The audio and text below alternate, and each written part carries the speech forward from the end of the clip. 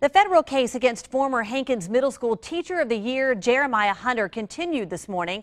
Hunter is accused of stalking a student, tampering with evidence in the case, and receiving child pornography. He was arrested back in February.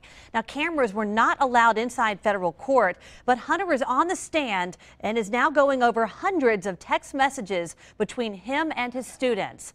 The defense's argument is not to deny that Hunter had nude pictures of students, but rather to prove that he only had them for authoritative reasons. Hunter claims that when he would type, quote, I want to see, end quote, he meant that he wanted to see if it was true that his students were sending nudes so that he could report them. However, Hunter says he never reported the pictures to a principal, but rather talked to his class on his own. News 5's Emily DeVoe is in the courtroom and is live tweeting updates. We'll also have the latest tonight on News 5 at 5 and 6 o'clock.